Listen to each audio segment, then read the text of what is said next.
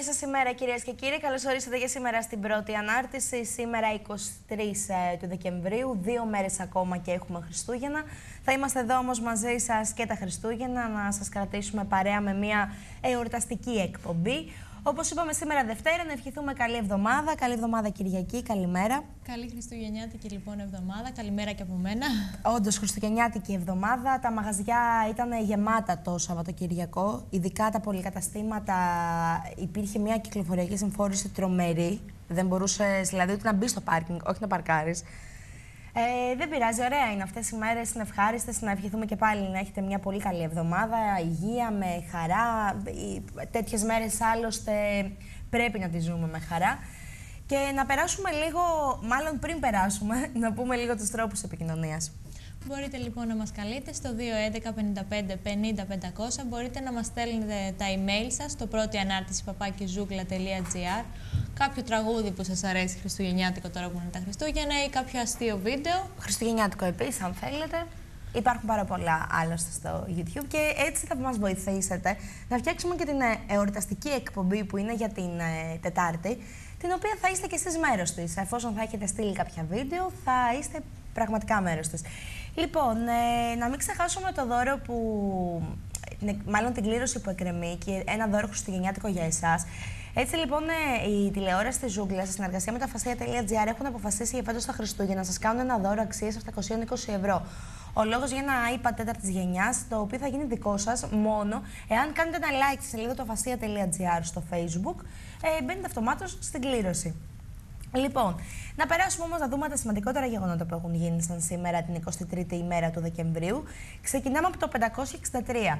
Ε, τότε τελούνται μεγαλοπρεπώ από τον Πατριάρχη Ευτύχιο τα εγγένεια του αναστηλωθέντο ναού της Αγίας Σοφίας στην Κωνσταντινούπολη μετά την κατάρρευση του Τρούλου από το σεισμό του 557.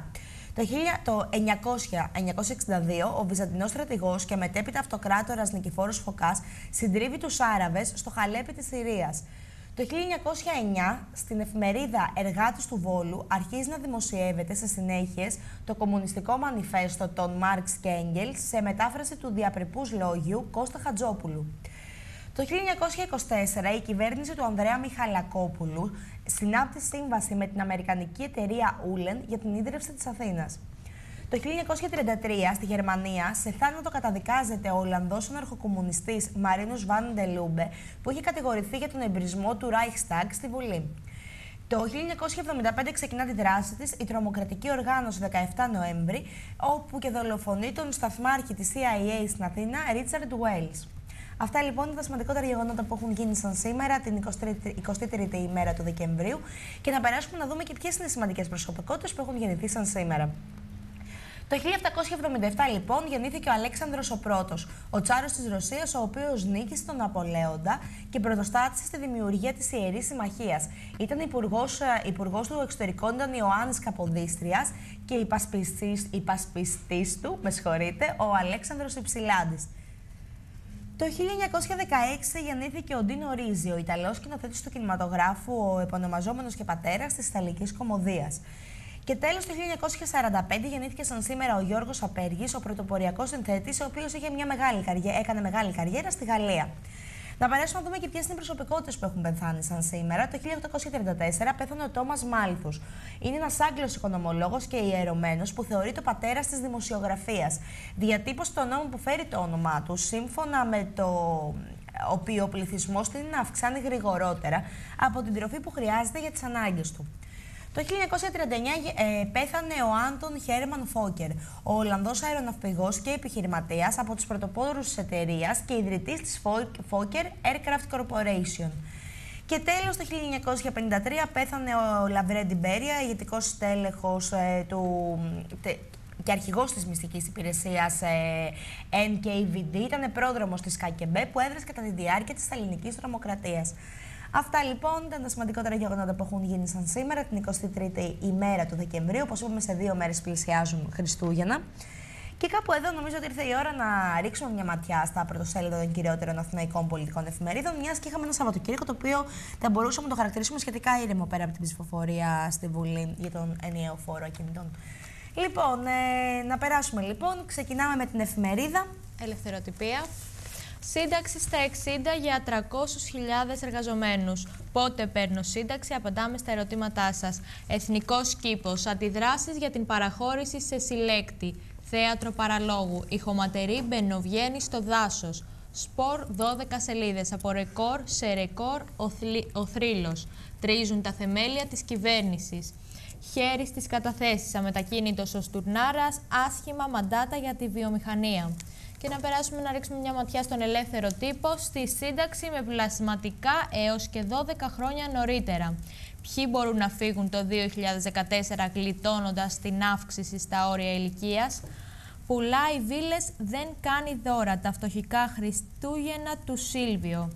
Αναταραχή στην Τουρκία, συλλήψεις ιών υπουργών για σκάνδαλα, καρατομήσεις αστυνομικών για δηλώσεις στην πόλη. Ο Ερντογάν απειλεί με απέλαση τον πρέσβη των Ηνωμένων Πολιτειών Αμερικής. Χωρίς αντίκρισμα οι τροποποιήσεις τους Στουρνάρα παραμένουν παράλογα τα πρόστιμα για απλήρωτους φόρους. Έφυγε ο δάσκαλος της δημοσιογραφίας Μέμος Φαράκος. Και να περάσουμε στην εφημερίδα Τα Νέα. Ο τελικός λογαριασμός με βελτιώσεις τελευταία στιγμής ψηφίστηκαν οι ρυθμίσεις για τα ακίνητα και τους πληστηριασμούς. Φόρος ακινήτων, μειώσεις στο παραπέντε για τριτέκνους και ημιτελή χτίσματα. Στα στεγαστικά έγιναν μικρές βελτιώσεις για την προστασία ελεύθερων επαγγελματιών. Ενώ ληξιπρόθεσμα, μικρότερα πρόστιμα για τα απλήρωτα χρέη προς το δημόσιο. Μέρκελ, σύνοδος κορυφής, η πιο δύσκολη βραδιά στις Βρυξέλλες. Τουρκία, διαδηλώσεις χιλιάδες στους δρόμους κατά της διαφθοράς. Ενώ ο Βενιζέλος Κεντρική Επιτροπή έβαλε ψηλά τον πύχη για τις εκλογές. Στην κατηγορία Επιστήμη διαβάζουμε νέα ζωή με μόνιμη τεχνητή καρδιά. Ακριβώς από δίπλα στο αριστερό κουτάκι βλέπουμε η κυβέρνηση ελεγχόμενη ζημία από την έξοδο του Βύρονα Πολύδωρα. Και πάμε στην εφημερίδα Το Έθνος. Ισορροπία τρόμου για κυβέρνηση και κόμματα. Ο Αντώνης Σαμαράς θα προχωρήσω με αυτούς που θέλουν και μπορούν. Πασόκ, στήριξη στην κυβέρνηση, διαμάχες για τους 58.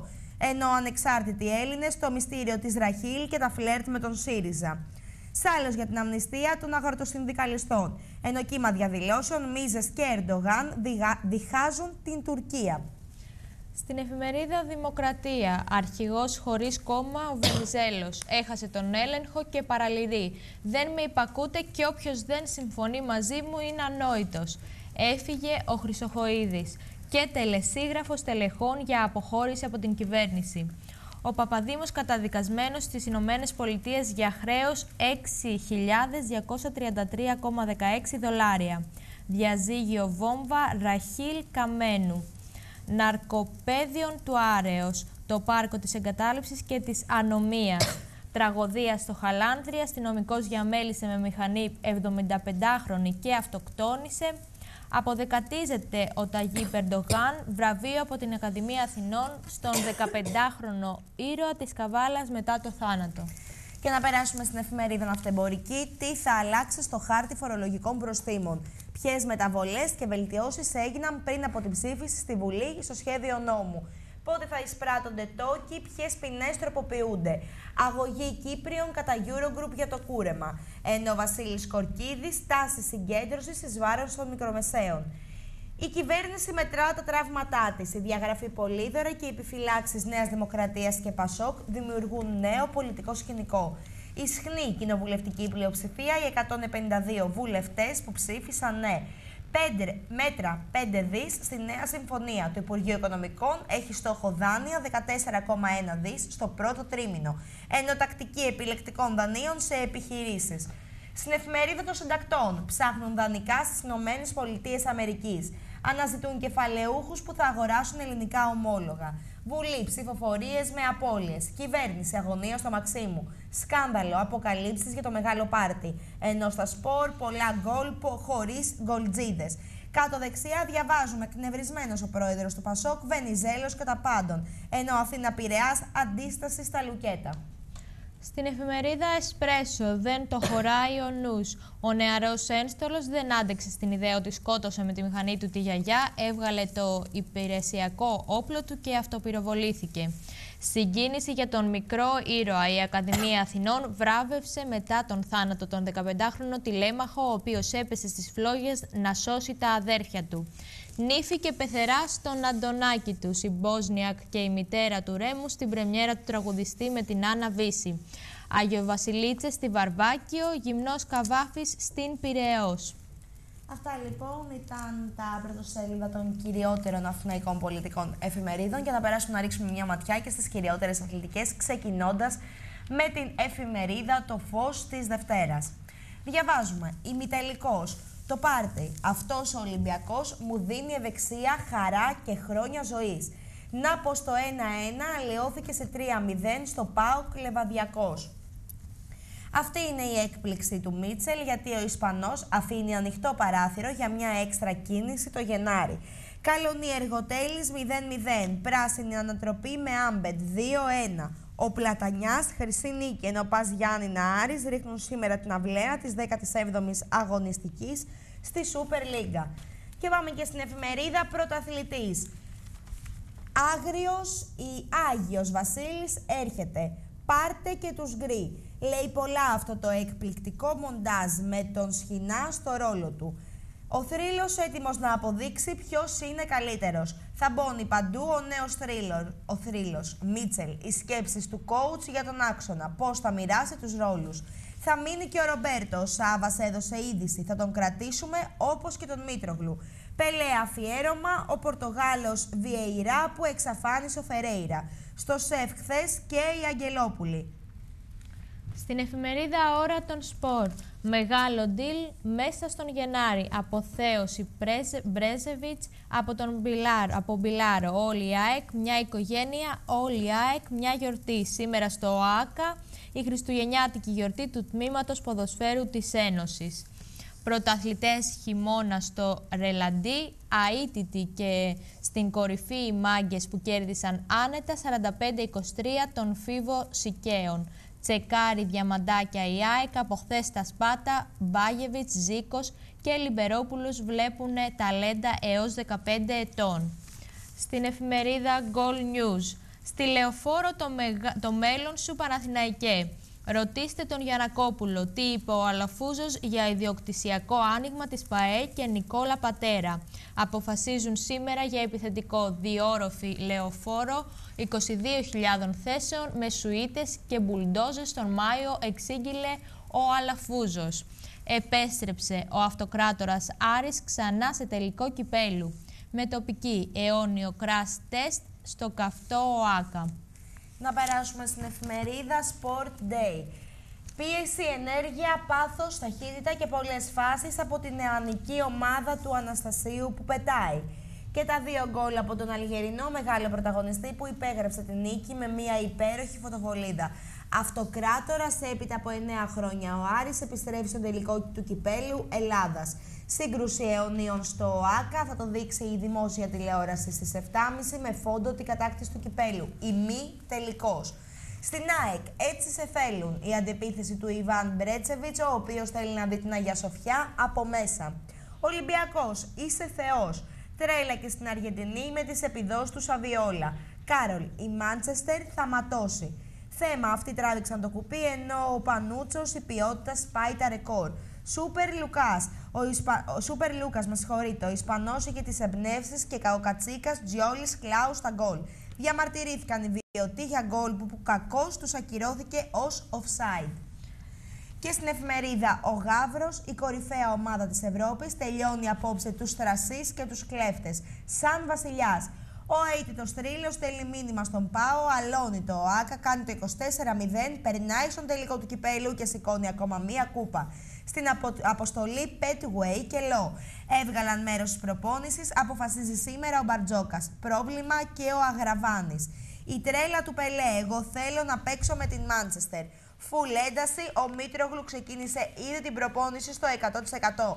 Θεός Αβιόλα, ύμνη για τον ασταμάτητο Αργεντινό. Κάρολ, μπορούμε να νικήσουμε τη United. Ενώ επίσης διαβάζουμε γονέο Νέσχη, αλήτικε ύβρι προς τους πιτσιρικάδες του θρύλου από οπαδούς του Απόλωνα στο μάτς των νέων. Στην εφημερίδα Live Sport, Μέταλλο, ο νεανικός ΠΑΟ έμαθε και να γυρίζει μάτς και ατσαλώνεται. Ανατροπή με χαρακτήρα ψυχή, σχέδιο και τρελό ρυθμό από τα πιτσιρίκια του Αναστάσιου 2-1 στην Ξάνθη.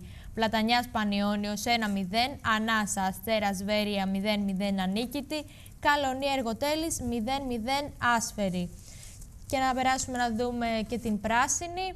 Δεν μασάνε ντροπή, μια γροθιά ο εξάστερος. Ελάτε, φτιαγμένοι για να σπάσουν την κόκκινη παρθενιά οι πράσινοι εραστές. Όρκος νίκης από προπονητή, παίκτες, κόσμο και τον πρόεδρο που πήγε ο Άκα. Τελεία και παύλα, πανά θα είσαι. Δήμωσε με το 0-1 και κατάπια εύκολα, άνετα και ωραία τους στρακιώτες με σούπερ αμπέντ, με μαγιά, ποιότητα, νεανικότητα και τεράστια ανατροπή. Αυτά λοιπόν ήταν και τα πρωτοσέλιδα των κυριότερων αθλητικών εφημερίδων.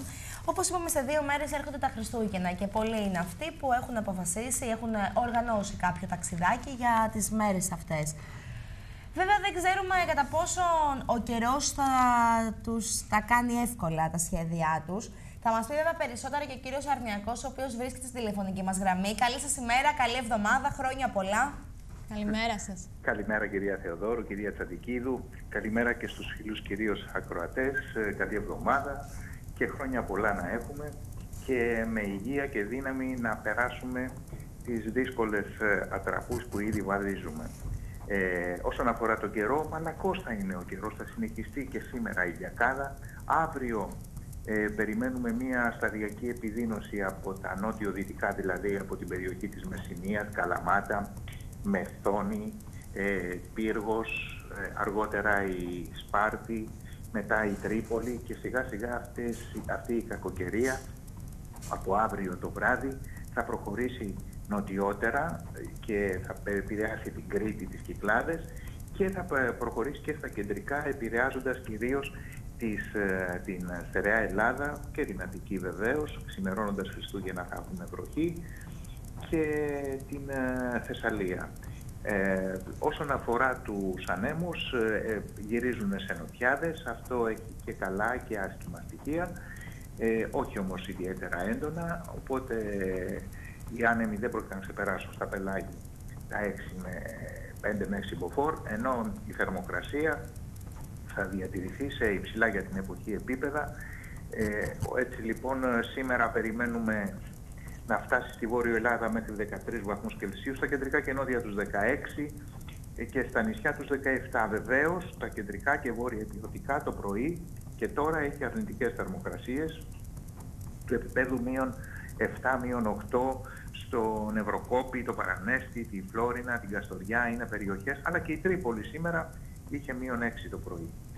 Όσον αφορά την εξέλιξη, την ε, παραμονή είπαμε ότι περιμένουμε αυτή την κακοκαιρία να αρχίσει να επηρεάζει τη χώρα. Ανήμερα Χριστούγεννα πια περιμένουμε επί της ουσίας βροχές ε, στο μεγαλύτερο μέρος της χώρας, αλλά από τα δυτικά θα αρχίσει ο καιρός να...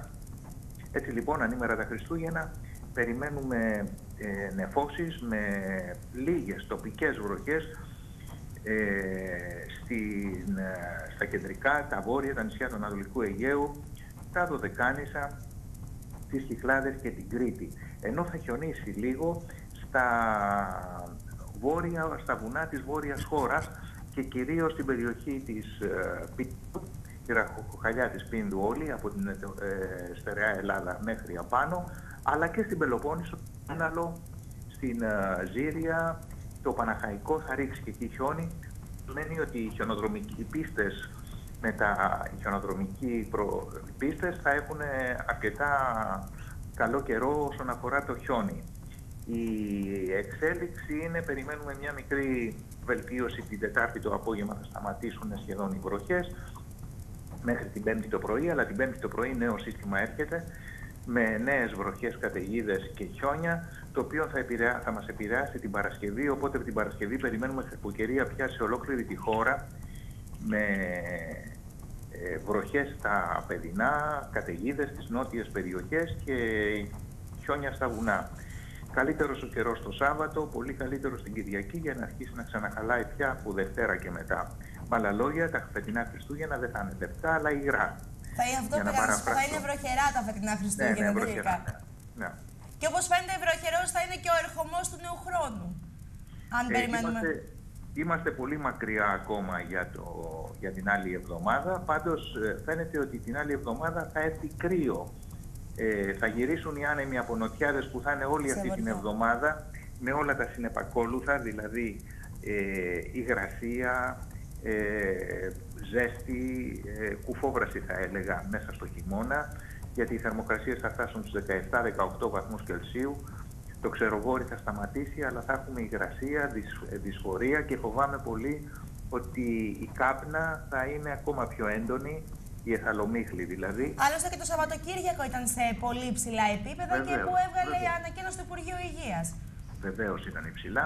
Το Σαββατοκύριακο ο κόσμος κάθεται στο σπίτι και δυστυχώς ή ευτυχώς ανάβηκε το τζάκι με όλες αυτές τις ε, ε, δύσκολες συνθήκες που αντιμετωπίζουν ιδιαίτερα τα μεγάλα αστικά κέντρα και ιδιαίτερα οι ευαίσθητες ηλικίες όπως τα πολύ μικρά παιδιά και οι μεγάλοι άνθρωποι ε, που έχουν ε, και κάποιο πρόβλημα με, τις, ε, με τα πνευμόνια.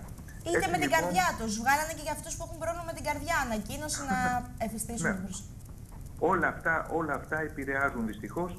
Οι νοτιάδες βέβαια θα μας φέρουν κάπως λιγότερο θα ανάβουμε τα τζάκια, αλλά θα έχουν υγρασία όμως και, και αυτό είναι ένα δημιουργεί δυσφορία. Ε, αυτά είναι τα θέματα, δηλαδή θα κυλήσουμε με ήπιες καιρικές συνθήκες, χωρίς μεγάλες, ε, πολύ κρύο κτλ. Τα Χριστούγεννα η εβδομάδα θα είναι των νοτιάδων αυτή, ενώ η καινούργια εβδομάδα που θα περιλαμβάνει και την πρωτοχρονιά θα έχει βοριάδες, πτώση της θερμοκρασίας, αρκετή, αρκετά πτώση και χιόνια στα βουνά της κεντρικής και βόρειας χώρας, ακόμα και σε περιοχές. Κύριε Αρνιακέ, δεν σας λέω ακόμα χρόνια πολλά, θα τα ξαναπούμε μέχρι τα Χριστούγεννα. Εμείς θα τα λέμε συνέχεια από ό,τι κατάλαβα, έτσι. αυτό, αυτό ακριβώς, ε, είστε Δεν απαραίτητος θα πια. πάτε πουθενά. Ω, Χριστούγεννα θα είμαστε εδώ πέρα, εδώ μαζί με τον κόσμο μας, να κάνουμε έτσι μια εορταστική εκπομπή. Α, ωραία, ωραία. Ε, Ωραία. Προς το παρόν, για σήμερα, καλή εβδομάδα, καλημέρα, ευχαριστούμε. Ευχαριστώ πολύ. Να είστε καλά, να είστε καλά. Γεια σας και θα τα πούμε πάλι, ευχαριστούμε. Ναι, ναι. Γεια σας, γεια σας. Γεια. Αυτά λοιπόν όσον αφορά και με τον καιρό. Οπότε. Δεν θα δούμε λευκά Χριστούγεννα Όχι. φέτος. Μα μας το, έχει, μας το έχει πει αυτό από τον Οκτώβριο ότι δεν πρόκειται να δούμε λευκά Χριστούγεννα. Αλλά εντάξει, Είχα θα μια έχει ελπίδα. βροχούλα. Θα έχει βροχούλα. Δε- Θα έχει χιόνια στις πιο βόρειες περιοχές, τώρα στα χιονοδρομικά. Και να μην ξεχνάμε ότι σύμφωνα με τα στοιχεία που, έχουν, ε, που υπάρχουν, ε, υπάρχουν στα ξενοδοχεία, στους πιο δημοφιλείς δηλαδή προορισμούς, Αράχοβα, Καλάβρητα, Μέτσοβο, ε, το, Κα- στο Καϊμαξαλάν, είναι, η πληρότητα είναι λέει 100% όπως είναι η πληρότητα το 15 Αύγουστο, γιατί πρωτοχρονιά και φώτα προλαβαίνετε να κλείσετε κάτι στο παραπέντε. Λοιπόν, ε, στο σημείο αυτό να περάσουμε να ρίξουμε μια ματιά και στα πρωτοσέλιδα των, του που φιλοξενεί αυτή τη στιγμή το zoogla.gr. Ξεκινάμε με το πρώτο πρωτοσέλιδο όπου διαβάζουμε πως σύνταξη στα 60, διατάξεις για αναγνώριση πλασματικών ετών ε, για 300.000 ασφαλισμένους. Στο δεύτερο πρωτοσέλιδο της Ζούγκλας, διπλή τραγωδία στο Χαλάνδρη. Αστυνομικός σκότωσε ηλικιωμένη με τη μοτοσυκλέτα του και αυτοκτόνησε από τύψεις. Στο τρίτο πρωτοσέλιδο, η Εθαλομύχλη πνίγει την Αττική. Συναγερμό για τα επίπεδα αιωρούμενων σωματιδίων, οδηγίες της Γραμματείας Δημόσιας Υγείας. Ενώ στο τέταρτο πρωτοσέλιδο της Ζούγκλας, ο φτωχοτουρίστας. Κρυφτούλι με την κάμερα της Ζούγκλας στο Petronas Towers της Κουάλα Λουμπούρ. Και μιλά- μιλάμε για τον Μιχάλη Μιχάλη Λιάπη, Λιάπη. το έχουμε, θα το πούμε και αργότερα, το έχουμε στα θέματά μας. Ε, πολύ πετυχημένος τίτλος από την ε, δημοσιογραφική ομάδα εδώ της Ζούγκλας, ο φτωχοτουρίστας. Έτσι ακριβώς, είναι πολύ ταιριαστός σαν τίτλος. Βλέπετε άλλωστε και στα πλάνα ε, τις ε, δύο φωτογραφίες του πρώην Υπουργού Μεταφορών του κύριου Λιάπη. Δεξιά βλέπετε το Petronas Towers της Κουάλας Λουμπούρ. Το έχουμε και σε πλάνα, σε βίντεο, να τα ρίξετε κι εσείς μια ματιά. Αφού και εσείς δεν έχετε δυνατότητα να πάτε προς την Κουάλα Λουμπούρ, θα σας το δείξουμε εμείς από κάποιο βίντεο. Λοιπόν, ε, αυτά όσον αφορά και τα πρωτοσέλιδα που φιλοξενεί αυτή τη στιγμή το zoogla.gr. Να, πάμε- να πάμε μάλλον στο πρώτο μας ε, διαφημιστικό διάλειμμα για σήμερα και επιστρέφουμε σύντομα.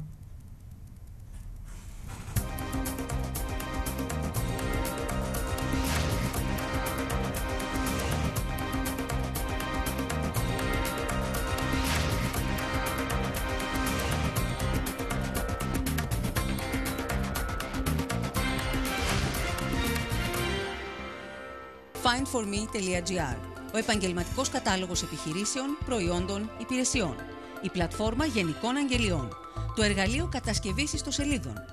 Διαφημίστε τα προϊόντα και τις υπηρεσίες σας. Εποφεληθείτε από τις καινοτόμες υπηρεσίες που προσφέρουμε, καθώς εάν μέχρι τώρα δεν έχετε αποκτήσει δική σας ιστοσελίδα, τώρα πλέον μπορείτε, μέσω της πλατφόρμας findforme.gr. findforme.gr, η νέα πολυκάναλη πλατφόρμα του zoongla.gr.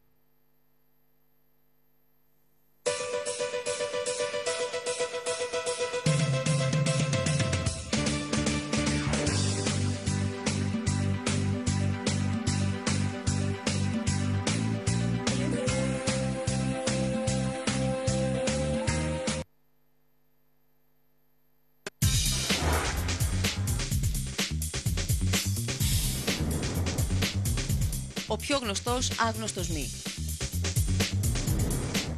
Καθημερινά στην τηλεόραση της Ζούγκλας. Μία με δύο το μεσημέρι. Με την υπογραφή του Μάκη Τριανταφυλόπουλου.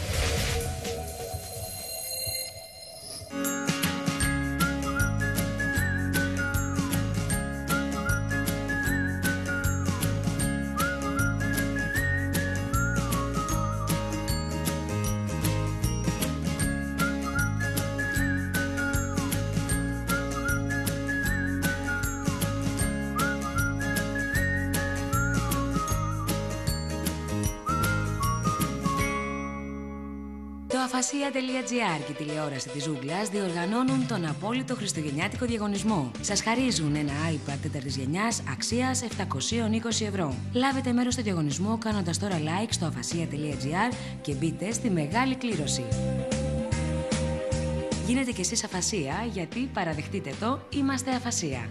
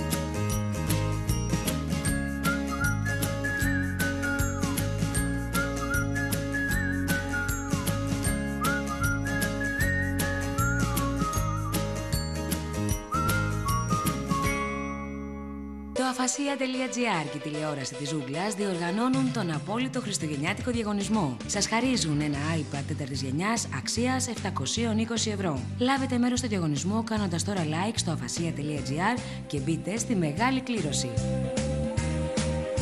Γίνετε κι εσείς αφασία γιατί παραδεχτείτε το, είμαστε αφασία.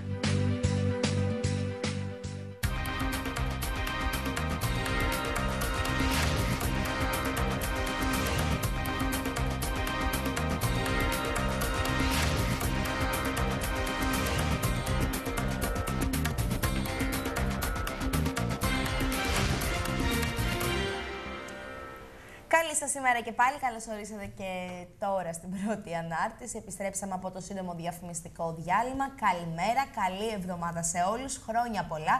Άλλωστε τέτοιες ημέρες ε, είναι απαραίτητα να λέμε χρόνια πολλά, να ευχόμαστε να έχουμε χαρά και ευτυχία και εμείς όσο και οι υπόλοιποι συνανθρώποι Και μας. κυρίως υγεία. Και υγεία πάνω απ' όλα, υγεία και ευημερία γενικότερα. Δεν επιθυμούμε κι εμείς. Λοιπόν, ε, να θυμίσουμε άλλη μια φορά τους τρόπους επικοινωνίας. Φυσικά. Φυσικά. Μπορείτε λοιπόν να μας καλείτε στο 211 55 50 500, να μας στέλνετε τα email σας στο πρώτη ανάρτηση παπάκιζούγκλα.gr, να μας βρείτε στο facebook με το όνομα πρώτη ανάρτηση και με το ίδιο όνομα πάλι στο twitter. Και να μην ξεχνάτε πως υπάρχει σε, είναι σε εξέλιξη ο διαγωνισμός που θα κάνει δικό σας ένα iPad τέταρτης γενιάς, ένα δώρο εξα, αξίας 720 ευρώ που η τηλεόραση της Ζούγκλας σε συνεργασία με το afasia.gr αποφάσισαν να σας χαρίσουν φέτος. Το μόνο που έχετε να κάνετε για να το κερδίσετε είναι να κάνετε ένα like στη σελίδα του afasia.gr στο facebook και αυτόματα μπαίνετε στο διαγωνισμό. Και να ξεκινήσουμε από ένα θέμα που απασχόλησε αρκετά το Σαββατοκύριακο. Μιας και για ακόμα μία φορά, για ακόμα ένα Σαββατοκύριακο, αποπνικτική ήταν η ατμόσφαιρα στην Αττική λόγω της Εθαλομίχλη, γεγονός που προκάλεσε δυσφορία σε εκατομμύρια πολίτες. Σύμφωνα λοιπόν με το Υπουργείο Περιβάλλοντος, στα 102 μικρογραμμάρια ανακυβικό μέτρο αέρα μετρήθηκαν τα αιωρούμενα σωματίδια στο σταθμό μέτρησης στο Μαρούσι το Σάββατο.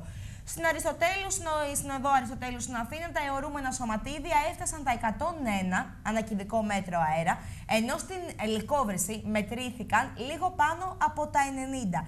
Επισημαίνεται λοιπόν ότι τα στοιχεία αυτά αφορούν τις ε, μέσες τιμές που διαμορφώθηκαν ολόκληρο, ολόκληρο το 24ωρο του Σαββάτου. Να πούμε πως σύμφωνα με τα όρια που έχουν τεθεί, ο πρώτος συναγερμός ενεργοποιείται όταν οι τιμές των αιωρούμενων σωματιδίων ξεπεράσουν τα 100 μικρογραμμάρια και ο κόκκινος συναγερμός χτυπά όταν τα μικροσωματίδια υπερβούν τα 150 μικρογραμμάρια ανά κυβικό μέτρο. Άμεσα η Γενική Γραμματεία Δημόσιας Υγείας εξέδωσε οδηγίες για τα παιδιά και τους ασθενείς με αναπνευστικά και καρδιολογικά προβλήματα βάσει της εξέλιξης των μετρήσεων της ατμοσφαιρικής ρήπανσης και της προβλέψης της Εθνικής Μετεωρολογικής Υπηρεσίας. Να πούμε πως σύμφωνα με το Υπουργείο Υγείας, ε, όσα άτομα ε, έχουν αναπνευστικό πρόβλημα ή είναι καρδιοπαθείς, καθώς και τα παιδιά, θα πρέπει να περιορίσουν κάθε έντονη σωματική δραστηριότητα, ιδιαίτερα αν αυτή γίνεται σε εξωτερικούς χώρους. Επίσης, άτομα με άσθημα μπορεί να χρειαστούν πιο συχνά εισπνοές στον ακοφιστικού τους φαρμάκου. Επίσης, ε, άτομα άνω των 65 ετών ε, θα πρέπει επίσης να περιορίσουν την ε, σωματική τους δραστηριότητα και να πούμε πως η Γενική Γραμματεία Δημόσιας Υγείας, σε συνεργασία με τις αρμόδιες υπηρεσίες του Υπουργείου Περιβάλλοντος και Κλιματικών Αλλαγών, παρακολουθεί την εξέλιξη του φαινομένου συστηματικά και θα ενημερώνει τους πολίτες για οποιοδήποτε πρόβλημα. Υπενθυμίζεται ότι τα Υπουργεία Υγείας και Περιβάλλοντος είχαν συστήσει σε κοινή τους ανακοίνωση περιορισμό της άσκοπης χρήσης τζακιών, καθώς σύμφωνα με τις προβλέψεις της ΕΜΗ, από το βράδυ του Σαββάτου μέχρι και την Κυριακή ευνοείται η συσσόρευση ατμοσφαιρικής ρήπανσης. Είναι για το λόγο που είπε και ο κύριος Σαρνιακός άλλωστε, ότι λόγω του ότι οι πολίτες μένουν στα σπίτια του Σαββατοκύριακο, ανάβουν και τον τζάκι και λόγω των ε, οικονομικών δυσκολιών που αντιμετωπίζουμε γενικότερα αυτή την περίοδο. Και να περάσουμε στον Υπουργό Υγείας, όπου όπως ο ίδιος δήλωσε, οι οικογένειες που αποτελούν δικαιούχους του κοινωνικού τιμολογιού της ΔΕΗ θα έχουν δωρεάν ρεύμα για θέρμανση τις ημέρες για τις οποίες υπάρχει ανακοίνωση περί συνθήκων που ευνοούν τη δημιουργία νέφους εθαλομίχλης. Σύμφωνα λοιπόν με τον κύριο Γεωργιάδη, η σχετική ανακοίνωση βρίσκεται ήδη στο Εθνικό Τυπογραφείο και πρακτικά βρίσκεται σε ισχύ. Όπως διευκρίνησε, δωρεάν ρεύμα θα δίνεται στους δικαιούχους κοινωνικού τιμολογίου για τις διπλάσιες ημέρες για τις οποίες υπάρχει σχετική ανακοίνωση, με την οποία ζητείται περιορισμό της χρήσης τζακιών, ξυλοσομπών κλπ. Αν λοιπόν έχουμε βγάλει 4 ημέρες το μήνα σχετική ανακοίνωση, θα αφαιρούμε από το λογαριασμό 8 ημέρες την κατανάλωση του ρεύματος. Μιλάμε πάντα για το κοινωνικό τιμολόγιο, είπε σχετικά. Το Υπουργείο Υγείας είχε απευθύνει την Κυριακή στους πολίτες σύσταση για προσοχή και περιορισμό της έντονης σωματικής δραστηριότητας με βάση την εξέλιξη των μετρήσεων της ατμοσφαιρικής ρήπανσης και τις προβλέψεις της Εθνικής Μετεωρολογικής Υπηρεσίας. Υπενθυμίζεται ότι τα Υπουργεία Υγείας και ΠΕΚΑ είχαν συστήσει σε κοινή τους ανακοίνωση περιορισμό της άσκοπης χρήσης τζακιών για το Σάββατο και την Κυριακή λόγω συνθήκων που ευνοούν τη συσσόρευση ατμοσφαιρικής ρήπανσης. Αυτά λοιπόν όσον αφορά την θαλομύχλη. Ε, στο σημείο αυτό έχουμε δελτίο ειδήσεων; Οπότε σε λίγο θα πάμε στο δελτίο ειδήσεων. Πριν από αυτό, να ξεκινήσουμε ένα θέμα που έχει απασχολήσει αρκετά. Ε, τόσο τα εγχώρια ε, μέσα μαζικής ενημέρωσης και μιλάμε για την Τουρκία, όσο και τα διεθνή. Είναι ένα θέμα που έχει, που έχει προκαλέσει άλλο γενικότερα ε, παγκόσμια. Έτσι λοιπόν, οι καταιγιστικές φαίνεται πως είναι οι εξελίξεις αναφορικά με το σκάνδαλο δωροδοκίας που έχει ξεσπάσει στην Τουρκία με τον Πρωθυπουργό Ρετζέπ Ταγίπ Ερντογάν να απειλεί με απέλαση όσους τολμούν να παρεμβαίνουν στα εσωτερικά ζητήματα της χώρας και να ξυλώνει κάθε αξιωματούχο που θεωρεί ότι απειλεί την πολιτική σταθερότητα της χώρας του. Τώρα, οι τουρκικές αρχές να πούμε πως απέπεμψαν άλλους 25 αξιωματικούς αστυνομίας την ώρα που συνεχίζεται η έρευνα για την διαφθορά στο πλαίσιο της οποίας έχουν απαγγελθεί κατηγορίες συνολικά σε 24 πρόσωπα, μεταξύ των οποίων ε, η γη δύο υπουργών και Γενικός Διευθυντής της Κρατικής Τράπεζας Halkbank περίπου 70 αξιωματικοί της αστυνομίας περιλαμβανομένων και των διοικητικών, πέντε διευθύνσεων της ασφάλειας Κωνσταντινούπολης αποπέμφθηκαν από το σώμα με την αιτιολογία ότι δεν ειδοποίησαν την κυβέρνηση εγκαίρως για τις πληροφορίες που είχαν. Κάποιοι άλλοι μετακινήθηκαν σε άλλες υπηρεσίες από την περασμένη εβδομάδα όταν ξεκίνησε η, προφυλάκηση, η προφυλάκηση των υπόπτων για συμμετοχή στο σκάνδαλο. Ο Πρωθυπουργός Ερντογάν κατηγόρησε διεθνείς οργανώσεις και σκοτεινές συμμαχίες ότι ενθαρρύνουν την έρευνα για τη διαφθορά και είπε ότι θα συνεχιστεί η προσαγωγή εκείνων που βρίσκονται πίσω από την έρευνα. Σε ομιλία του πάντως στην βόρεια πόλη Όρντου, ο Ερντογάν έκανε λόγο για συνωμοσία και κατηγόρησε ένα κράτος εν κράτη ότι ευθύνεται για αυτόν τον βρώμικο πόλεμο που έχει στόχο να κυλιδώσει ουσιαστικά, ουσιαστικά τον ίδιο. Ο Ερντογάν κατηγορεί όσους αξιωματικούς αστυνομία τους έχει πάυσει από την Τρίτη για κατάχρηση εξουσίας. Στην προκειμένη περίπτωση, επειδή δεν ενημέρωσαν την προϊστάμενη πολιτική αρχή για την έρευνα σε βάρος της. Τώρα, με συγχωρείτε, όπως μετέδωσαν τα τουρκικά μέσα ενημέρωσης, μία από τις πρώτες κινήσεις του νέου διοικητή της ασφάλειας Κωνσταντινούπολης, του Σελαμί Αλτινόκ, ήταν να απαγορεύσει στους δημοσιογράφους την είσοδο στα αστυνομικά τμήματα της χώρας. Πάντως, το θέμα αναλύεται υπό πολλά πρίσματα, με τα βλέμματα να στρέφονται στον εξόριστο στις Ηνωμένες Πολιτείες Αμερικής αντίπαλο του Ερντογάν, τον Φετουλάχ Γκιουλέν. Σύμφωνα με πολλούς σχολιαστές, πρόκειται για πόλεμο μεταξύ δύο αντιμαχόμενων πλευρών, ενώ άλλοι θεωρούν πως πίσω από όλα αυτά κρύβονται το Ισραήλ και οι Ηνωμένες Πολιτείες Αμερικής. Ο ίδιος ο Γκιουλέν, που σημεωτέω να ασκεί ισχυρές επιρροές στη δικαιοσύνη και την αστυνομία, αρνείται οποιαδήποτε επέμβαση από τις Ηνωμένες Πολιτείες της Αμερικής. Μια δυσόπιτη ουσιαστικά αντιπαράθεση ανάμεσα στον Τούρκο Πρωθυπουργό και στην Ισλαμική αδελφότητα του Φετουλάχου Γκιουλέν εκτιλήσεται λοιπόν τις τελευταίες ημέρες. Η αδελφότητα υποστήριξε θερμά στο παρελθόν το κυβερνών κόμμα, καθώς συμμεριζόταν το στόχο του εξισλαμισμού της κοινωνίας και των θεσμών της. Οι δύο δυνάμεις όμως έχουν αρκετές διαφορές μεταξύ τους. Το πρώτο, το ΑΚΠ, είναι πάνω απ' όλα ένα πολιτικό κίνημα που έχει κληρονομήσει τα Ισλαμικά πολιτικά κόμματα, τα οποία ανησυχούσαν για το καταπιεστικό χαρακτήρα του κοσμικού κράτους. Η αδελφότητα, πιο φιλελεύθερη και πιο φιλοδυτική, προσπαθεί να ασκήσει επιρροή μέσα από τις εφημερίδες της και κυρίως την Ζαμάν, τα δίκτυα των σχολείων της που δεν βρίσκονται μόνο στην Τουρκία αλλά και στην Ευρώπη και στην Αφρική και τη μαζική διείσδυση της στο δικαστικό αστυνομικό μηχανισμό. Ακολουθεί λοιπόν ε, η σχολή Τούρκων διανοητών όπως του θεολόγου Σαΐντ Νουρσί και που απορρίπτει το πολιτικό Ισλάμ. Οι εικόνες των συγκρούσεων στο πάρκο Γκεζί αναβίωσαν την Κυριακή στην Τουρκία, καθώς η αστυνομία χρησιμοποίησε πλαστικές σφαίρες, άβρες και δακρυγόνα εναντίον διαδηλωτών, οι οποίοι έκαναν πορεία στην Κωνσταντινούπολη για τα πολεοδομικά σχέδια της τουρκικής κυβέρνησης και για τη διαφθορά που διαπιστώθηκε στα κυβερνητικά οποίων και γη υπουργών.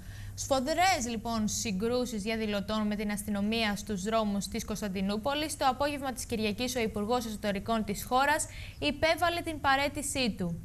Η αστυνομία χρησιμοποίησε εκτοξευτήρες νερού και δακρυγόνα εναντίον διαδηλωτών στην Κωνσταντινούπολη, οι οποίοι, οι οποίοι καλούσαν την κυβέρνηση του Πρωθυπουργού Ερντογάν να παραιτηθεί, μετέδωσε το τουρκικό πρακτορείο ειδήσεων Dogan News ο Υπουργό Εσωτερικών ε, τη χώρα, να πούμε, ο Μουαμέρ Γκιουλέρ, το οποίο ο γιο είναι μεταξύ των συλληφθέντων για την υπόθεση διαφθορά, υπέβαλε την παρέτησή του στον Τούρκο Πρωθυπουργό, με τον Ερντογάν, όπω φαίνεται μέχρι στιγμή, να μην έχει απαντήσει ακόμα, Την ώρα λοιπόν που ο φημολογούμενο ανασχηματισμό αναμένει το επόμενη κίνηση.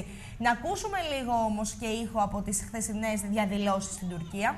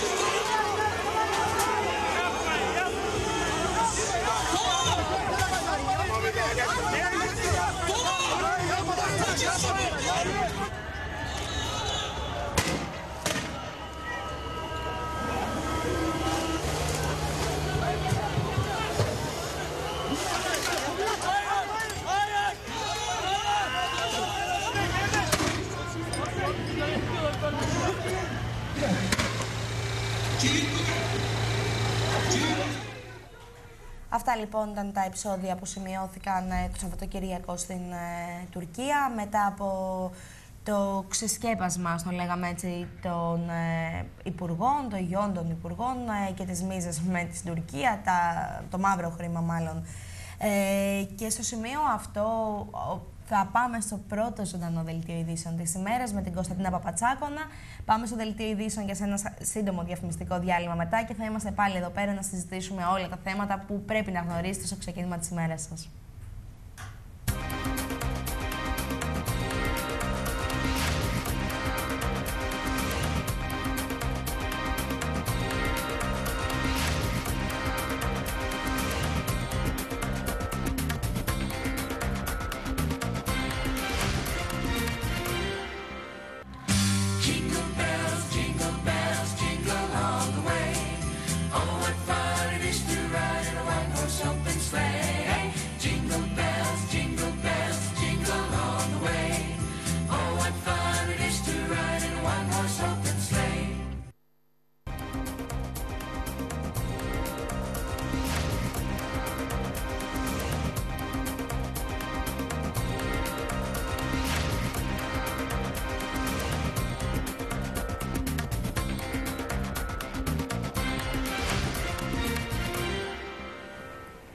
Καλή σα ημέρα και πάλι, κυρίες και κύριοι. Επιστρέψαμε από το σύντομο διαφημιστικό διάλειμμα, αλλά και από το πρώτο ζωντανό δελτίο ειδήσεων της ημέρας με την Κωνσταντίνα Παπατσάκονα.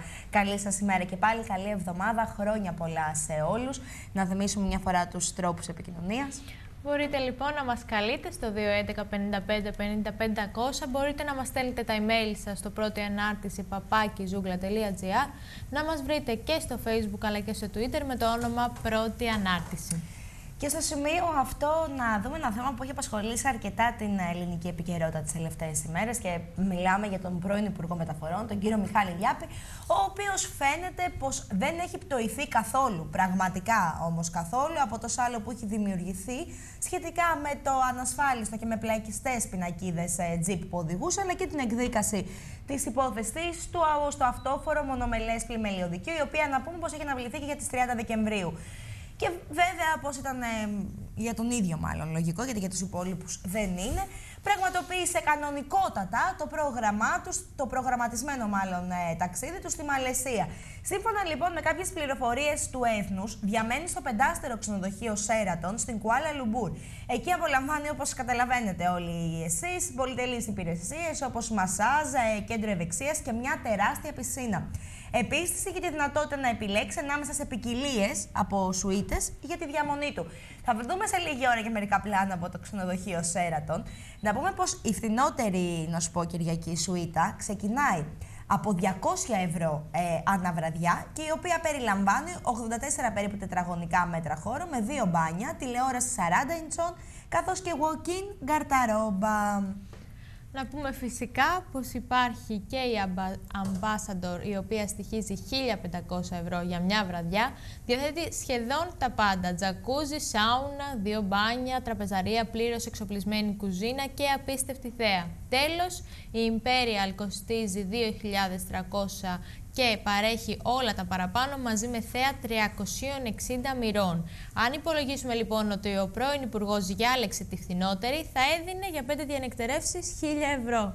Μαζί με τις 4.400 ευρώ για τα αεροπορικά εισιτήρια στην business class της, πίστερ, της πτήσης Qatar Airways, για δύο άτομα το ποσό που προκύπτει είναι όσα θα έδινε για τον φόρο πολυτελείας, τα τέλη κυκλοφορίας και τα ασφάλιστρα του πολυτελούς του Jeep. Βλέπετε και στα πλάνα σας φωτογραφίες, μάλλον ε, πλάνα από το, από το Sheraton Hotel, στο οποίο και διαμένει ο πρώην υπουργός. Να πούμε ένα, ένα μικρό σχολιάκι πάνω σε αυτό, ότι πραγματικά παίζει, κάνει, παίζει κυνηγητό. Παίζει τους κλέφτες και αστυνόμους με τους, και με τους δημοσιογράφους και με τα μέσα μαζικής ενημέρωσης. Να μην ξεχνάμε πως ο Υπουργός ε, όταν τηλεφώνησε ένας δημοσιογράφος στο ξενοδοχείο για να ρωτήσουν εάν παραμένει ακόμα, η υπάλληλο στο ξενοδοχείο πριν ενημερωθεί για, από τους συναδέλφους της για το τι πρέπει να πει, είπε ότι ο κύριος ε, ο κύριος Λιάπης όντως διαμένει στο ξενοδοχείο. Μετά από λίγα λεπτά, εφόσον ενημερώθηκε από τους ε, συναδέλφους της για το ποιο ήταν το σωστό που έπρεπε να πει, ήταν ότι ο κύριος Λιάπης έχει ήδη κάνει check-out και δεν βρίσκεται πια στο ξενοδοχείο. Ε, πραγματικά είναι υπερπολιτελέστατο το ξενοδοχείο. Σε τι άλλο θα μπορούσε όμως να μένει ένας ε, συνταξιούχος ε, πρώην υπουργός, ο οποίος σίγουρα έχει πληγεί από την κρίση, όπως και οι υπόλοιποι πολίτες, συμπολίτες μας. Νομίζω αρκετά προκλητικό θα έλεγα. Ε, πάντως να πούμε ότι παρά τα μέτρα ασφαλείας, τις κάμερες, τις εξόδους από την πίσω πόρτα και τις μεταμφιέσεις, ο ανεκδίγητος, πραγματικά ανεκδίγητος πρώην υπουργός, δεν κατόρθωσε να μας αποφύγει. Τον εντοπίσαμε λοιπόν στο Petronas Towers τη Κουάλα Λουμπούρ. Είναι να πούμε το υψηλότερο κτίριο της πόλης που το επισκέπτονται τουρίστες για να απολαύσουν τη θέα. Είναι γεγονός να πούμε η απόσταση από την επιφάνεια μειώνει την ορατότητα, στην προκειμένη περίπτωση λόγω ύψους, με αποτέλεσμα οι αθλειότητες και οι ασχήμιες να μην είναι εμφανείς. Παρ' όλα αυτά, ο κύριος Λιάπης, τον βλέπετε και στις φωτογραφίες σας, φαίνεται άνετος και ευδιάθετος. Ο κύριος Λιάπης απολαμβάνει τις ιδιαίτερες ανέσεις του πεντάστερου ξενοδοχείου Σεράτων στην Κουάλα Λουμπούρ και μάλιστα δεν φαίνεται να νιώθει μοναξιά καθώς συνοδεύεται από μια εθέρια ύπαρξη. Βέβαια, μόνος θα πήγαινε σε αυτό το πολυτελές ξενοδοχείο. Σύμφωνα με την εφημερίδα Real News, ο πρώην Υπουργός εθεάθη στην Chinatown της Μαλαισίας να ορέγεται τις λιχουδιές των Ασιάτικων μεζέδων και να βολτάρει ξοδεύοντας τις όποιες οικονομίες έχει ως συνταξιούχος θύμα της κρίσης. Βέβαια, ξεχωρίζει. Νομίζω ότι είναι. Πώς να το πω. Πολύ φαίνεται ότι είναι συνταξιούχος. Ναι. Βέβαια. Βέβαια η κοπέλα η οποία τον συνόδευε ήταν μια πολύ εντυπωσιακή κοπέλα. Μια μελαχρινή έτσι πολύ όμορφη κοπέλα. Βέβαια, πώς αλλιώς δεν γίνεται να πάει μόνος στη Μαλαισία. Ένα τέτοιο ξενοδοχείο είναι κρίμα να το κρατάς τον εαυτό σου από το να το μοιραστείς. Ωραία φαίνεται, περνάει.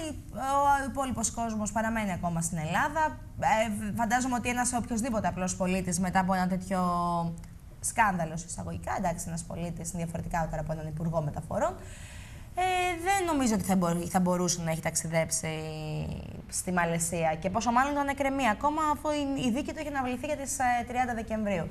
Φαντάζομαι θα επιστρέψει ο κύριος Υπουργός, μαυρισμένος, ξεκούραστος, ευδιάθετος για να απολογηθεί. Να αλλάξουμε θέμα. Να πάμε στη Χρυσή Αυγή. Όπου ένας πρώην υποψήφιος της Χρυσής Αυγής, και μιλάμε για τον Ιάσονα Μπίμπο, το, ε, το όνομα του Ιάσου Ναμπίμπου, μάλλον, το πούμε διαφορετικά, έχει πρωταγωνιστήσει τις τελευταίες ημέρες στα μέσα ενημέρωσης. Αφορμή προκάλεσε ένας έλεγχος στο αυτοκίνητό του. Είναι ακόμα ένας λιάπης, λοιπόν, ο κύριος Μπίμπος. Σύμφωνα όμως ε, με τον ίδιο, τα όσα μεταδόθηκαν περί πλαστών ε, πινακίδων δεν ανταποκρίνονται στην πραγματικότητα. Να πούμε πως όπως είχε μεταδώσει το Μέγκα, ο συγκεκριμένος πολιτευτής είχε απασχολήσει και πάλι την επικαιρότητα πριν λίγο καιρό, πριν λίγους μήνες για την ακρίβεια, για βίαιη συμπεριφορά.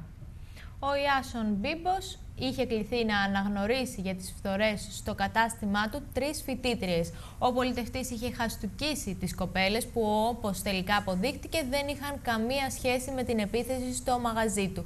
Όπως γράφει στο Πάμε πρέβεζα ε, όμως που πραγματικά ενόχλησε τον κύριο Μπίμπο είναι το γεγονός ότι το όνομά του συνδυάστηκε και σε αυτή την περίπτωση με την οργάνωση της χρυσής αυγής, από την οποία είχε αποχωρήσει εδώ και ένα χρόνο περίπου. Στο θέμα αυτό επανέρχεται και με γραπτή δήλωσή του προς όλα τα μέσα ενημέρωσης, ξεκαθαρίζει ότι δεν έχει καμία σχέση με τη Χρυσή Αυγή και δεν επιθυμεί να έχει. Να πούμε πως αναλυτικά αναφέρει πως εδώ και αρκετό χρονικό διάστημα το ονοματεπώνυμο μου βρίσκεται στη δημοσιότητα δίπλα από πολιτικό κόμμα και άλλες παραφιλολογίες. Θα ήθελα να γνωρίσει η γιαννιώτικη κοινωνία ότι δεν έχω καμία απολύτως σχέση με το πολιτικό κόμμα Χρυσή Αυγή. Η εμπλοκή μου στο συγκεκριμένο πολιτικό κόμμα ήταν μόνο και μόνο ως ονοματεπώνυμο στο ψηφοδέλτιο στις περασμένες εθνικές εκλογές. Και ήταν μια λανθασμένη πολιτική επιλογή. Από εκεί και πέρα, όπως ο ίδιος τουλάχιστον αναφέρει, δεν έχω απολύτως καμία συνεργασία και επαφή με τη Χρυσή Αυγή, αλλά ούτε και επιθυμώ. Και αφού είμαστε στο θέμα της Χρυσής Αυγής, να παραμείνουμε στο θέμα της Χρυσής Αυγής, μιας και συγκέντρωση συμπαράσταση στον φυλακισμένο Γενικό Γραμματέα Νίκο Μιχαλολιάκο, αλλά και στους βουλευτές Χρήστο Παπά και Γιάννη Λαγό, πραγματοποίησαν μέλη της Χρυσής Αυγής έξω από το δικαστικό μέγαρο Θεσσαλονίκης. Να πούμε πως η συγκέντρωση είχε προγραμματιστεί αρχικά να γίνει στον Λευκό Πύργο, όμως ο Γενικός Αστυνομικός Διευθυντής Θεσσαλονίκης απαγόρευσε οποιαδήποτε συγκέντρωση στο κέντρο της πόλης για λόγους δημόσιας ασφάλειας και για να μην διαταραχθεί η κοινωνικο-οικονομική ζωή. Μετά από αυτό, η Χρυσή Αυγή άλλαξε τον τόπο συγκέντρωσης έξω από τα δικαστήρια, καταγγέλλοντας την απαγόρευση. Παράλληλα, να πούμε, αντιφασίστες έκαναν δύο συγκεντρώσεις στο Λευκό Πύργο και στο άγαλμα του Βενιζέλου. Στη συνέχεια ενώθηκαν με πορεία, κατευθύνθηκαν προς το δικαστικό μέγαρο, αλλά αστυνομικές δυνάμεις δεν τους επέτρεψαν να πλησιάσουν. Ο ΣΥΡΙΖΑ, να πούμε πως με ανακοίνωσή του, χαρακτήρισε ανεπιθύμητα στη Θεσσαλονίκη τα μέλη και τα στελέχη της Χρυσής Αυγής. Να πούμε πως στη συγκέντρωση της χρυσής αυγής μίλησαν ο εκπρόσωπος τύπου της χρυσής αυγής, Ηλίας Κασιδιάρης και οι βουλευτές Αρτέ, Αρτέμις Ματθεόπουλος, Αντώνης Γρέγος, Πολύβιος Ζήσιμόπουλος, οι οποίοι καταφέρθηκαν εναντίον της κυβέρνησης και του Πρωθυπουργού Αντώνη Σαμαρά. Έκαναν λόγο για πολιτική σκευωρία σε βάρος της χρυσής αυγής και ακούστηκαν αποδοκιμασίες για τον ΣΥΡΙΖΑ και τον Δήμαρχο Θεσσαλονίκης Γιάννη Μπουτάρη. Επίσης, η κόρη του Νίκου Μιχαλολιάκου, Ουρανία, διάβασε μήνυμα του έγκλειστου στον κορυδαλό πατέρα της. Για την αποτροπή επεισοδίων, ισχυρές δυνάμεις της αστυνομίας είχαν αναπτυχθεί σε σημεία της πόλης. Να ακούσουμε όμως στο σημείο αυτό τους ε, βουλευτές και το πραγματικά παραλήρημα που είχαν. Προκλητικό παραλήρημα, μάλλον το χαρακτηρίσουμε. Ας τους ακούσουμε λοιπόν. Εάν ήμασταν άτομα με άλλες ιδιαιτερότητες και ιδιοτροπίες, θα ήμασταν ελεύθεροι σήμερα να διατρανώσουμε τη διαφορετικότητα αυτή. Αλλά επειδή είμαστε γνήσιοι, επειδή είμαστε Έλληνες στην ψυχή και στο αίμα, κάτι τέτοιο ήθελε να το ματέω. Ανέφεραν πολλοί φίλοι προηγουμένως το πιο σύντομο ανέκδοτο της τελευταίας χρονιάς ότι ο Σαμαράς θα μας λιώσει. Το είπε αυτός ο ίδιος, ο εθνικός μειοδότης, ο εθνικός Καραγκιόζης θα έλεγα, ο οποίος αναρριχήθηκε στην εξουσία με ψέματα. Γι' αυτό το, λίγο, γι αυτό το λόγο, με συγχωρείτε, η διεφθαρμένη εξουσία του φαίνεται πως σε πολύ σύντομο χρόνο θα καταρρεύσει. Κυριολεκτικά διαλύονται, αποσυντίθεται, τους εγκαταλείπουν ακόμα και οι δικοί τους. Από εδώ λείπει κάποιος, όχι από εδώ, όχι από εδώ, και μιλάω για τον Βενιζέλο, ο Βενιζέλος, ο οποίος κατοικεί σε μια πολυτελέστατη βίλα εδώ λίγο πιο πάνω, δεν βρίσκεται εδώ, αλλά πολύ σύντομα θα βρίσκεται εδώ πίσω ακριβώς. Ένα μεγάλο μπράβο στη Χούντα Σαμαρά Βενιζέλου για τα κατορθώματά της. Προσπαθώντας με τη βοήθεια των διάφορων μεγαλοδημοσιογράφων να μας παρουσιάσουν ως το απόλυτο κακό, ξεμπροστιάστηκαν και εξευτελίστηκαν. Και δεν είναι πολύ μακριά η ώρα που θα τους δούμε να παίρνουν το δρόμο που τους αξίζει. Και ο Κρασοφιάχτης Μέθησος, δήμαρχος Θεσσαλονίκης, ο οποίος, εάν ήμασταν, εάν ήμασταν άτομα με άλλες ιδιαιτερότητες και ιδιοτροπίες, θα ήμασταν ελεύθεροι σήμερα να διατρανώσουμε τη διαφορετικότητα αυτή. Αλλά επειδή είμαστε γνήσιοι, επειδή είμαστε Έλληνες στην ψυχή και στο αίμα, Ακούσαμε μερικές, δηλώσεις, μερικές προκλητικές δηλώσεις από τους βουλευτές της χρυσής Αυγής και να αλλάξουμε θέμα, να πάμε σε ένα πραγματικά θλιβερό συμβάν που εκτελήχθηκε χθες στις 6.30 ώρα το απόγευμα στο Χαλάνδρη Αττικής. Σύμφωνα λοιπόν με πληροφορίες, ένας 28χρονο ειδικός φρουρός, ο οποίος υπηρετούσε στην ε, υποδιεύθυνση ασφάλειας Κυψέλης, οδηγώντας τη μοτοσυκλέτα του επί της οδού Παλαιολόγου στο Χαλάνδρη, παρέσυρε και σκότωσε μία ηλικιωμένη. Στη συνέχεια, γεμάτος τύψεις και έχοντας δει το πτώμα της γυναίκας να κοίταται στο οδόστρωμα, πήγε στην απάρκο και όπως αναφέρουν αυτόπτες μάρτυρες, λίγο αργότερα ακούστηκε ένας πυροβολισμός Κυριακή. Να πούμε πως όπως διαπιστώθηκε ο, νεαρό, ο νεαρός αστυνομικός έβγαλε το υπηρεσιακό του περίστροφο και αυτοπυροβολήθηκε στο κεφάλι με αποτέλεσμα να δώσει τέλος στη ζωή του. Σύμφωνα με τις πληροφορίες, ο αδερφός του είναι επίσης αξιωματικός της ελληνικής αστυνομίας. Αστυνομικοί που υπηρετούσαν μαζί του τονίζουν ότι επρόκειτο για ένα υπόδειγμα συναδέλφου και διακρινόταν για τον εξαιρετικό του χαρακτήρα. Και όπως επίσης οι ίδιοι συνάδελφοι λένε ότι πρόκειται για ένα πολύ. Ε, ήταν ένα πολύ καλό παιδί, ένα πολύ ευαίσθητο παιδί, ένα εύθυκτο παιδί και πολύ πιθανόν ε, λόγω της ευθυξίας και της ευαισθησίας να οδηγήθηκε στο απονοημένο διάβημα. Λοιπόν, και να πάμε σε ένα άλλο θέμα, το οποίο επίσης δεν είναι ευχάριστο, μιας και πέρασε. Ε, πέρασε, δεν είναι ευχάριστο. Πέρασε λοιπόν το νομοσχέδιο για τους πληστηριασμούς. Έτσι λοιπόν, κατά πλειοψηφία εγκρίθηκαν από την Ολομέλεια της Βουλής τα άρθρα 7, 8 και 9 του νομοσχεδίου για τους πληστηριασμούς έπειτα από ονομαστική ψηφοφορία. Σε αυτή να πούμε πως συμμετείχαν 293 βουλευτές και οι 152 ψήφισαν υπέρ των άρθρων, ενώ οι 141 κατά. Από την ψηφοφορία απουσίασαν ο ανεξάρτητος βουλευτής Βύρον Πολύδωρας που είχε διαγραφεί το μεσημέρι από τη Νέα Δημοκρατία. Ε, ο, επίσης ο βουλευτής του Πασόκ, ο Απόστολος Κακλαμάνης, που απουσίασε με ίωση. Ο βουλευτής των ανεξάρτητων Ελλήνων, ο κύριος Χαϊκάλης. Ο, ο ανεξάρτητος βουλευτής των ανεξάρτητων δημοκρατικών βουλευτών, ο κύριος Νικολόπουλος, ο οποίος με επιστολική ψήφο του δεν προσμετράται στο αποτέλεσμα, ενώ δήλωσε ότι καταψηφίζει τα άρθρα. Και όπως όλοι ξέρετε, καιρό τώρα και οι τρεις προφυλακισμένοι βουλευτές της Χρυσής Αυγής. Να πούμε πως ε, ο κύριος Πολύδωρα έχει κάνει κάποιες δηλώσεις. Είχε πει ότι δεν θα ψηφίσει το νομοσχέδιο. Συγκεκριμένα είπε και θέλετε εγώ να ψηφίσω αυτό. Εγώ που μια, που μια αγωνίστηκα για τη μεσαία τάξη, να πάω κόντρα στην ιστορία μου, στην πορεία μου, να ψηφίζω τον ενιαίο φόρο της περιουσίας. Βρήκατε ως υποζύγιο την πλάτη του λαού και τον πατάτε, είπε μεταξύ άλλων στην ομιλία του ο Βίρον Πολύδωρας, κάνοντας γνωστό πως δεν θα ψηφίσει στην ονομαστική, θα το καταψηφίσει, θα καταψηφίσει το νομοσχέδιο. Ε, ο Βύρονα, Βύρονα, μόνο εμείς σε χειροκροτήσαμε. Οι ανεξάρτητοι Έλληνες. Διπλοχειροκρότημα σου δώσαμε, είπε ο Τέρον Σκουίκ στο Βύρονα Πολύδωρα, βλέποντας τον να βγαίνει από την Ολομέλεια. Ο Τέρεν Σκουίκ συνεχάρει τον πρώην πρόεδρο της Βουλής, προχωρώντας στο πονηρό δημοσιογραφικό ερώτημα: Αύριο έχει ονομαστική. Θα είστε πρόεδρε, ρώτησε ο Τέρεν Σκουίκ. Ο κύριος Πολύδωρο κοντοστάθηκε, κοιτάζοντας τον στα μάτια, απάντησε και βέβαια θα είμαι.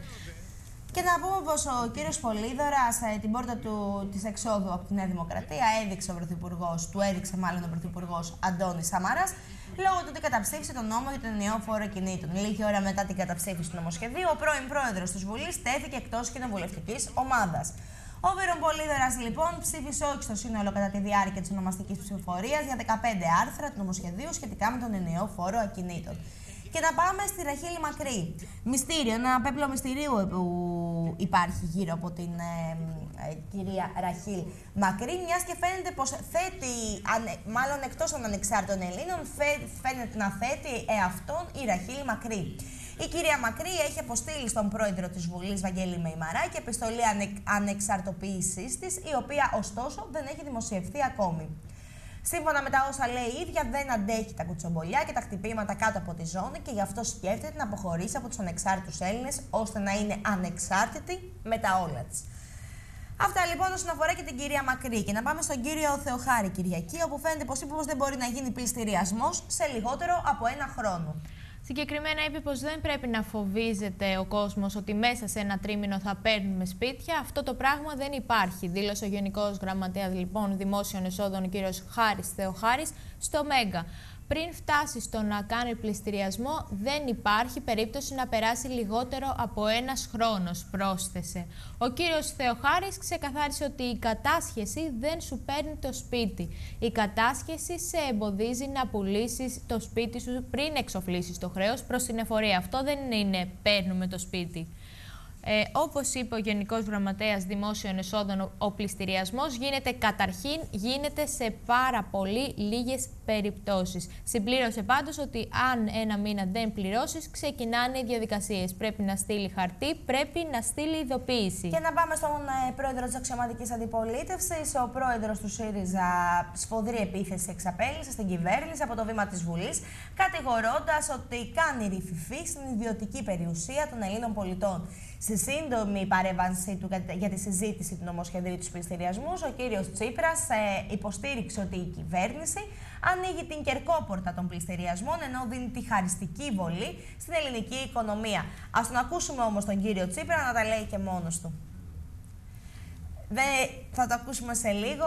Ε, επίθεση λοιπόν στην κυβέρνηση. Μέσα από αυτό λοιπόν την ομιλία που θα ακούσουμε, επίθεση στην κυβέρνηση εξαπέλυσε ο κύριος ο Τσίπρας και ειδικότερα στον Αντώνη Σαμαρά. Ε, τονίζοντας μεταξύ άλλων ότι ο κύριος Σαμαράς δεν μπορεί να πείσει κανέναν.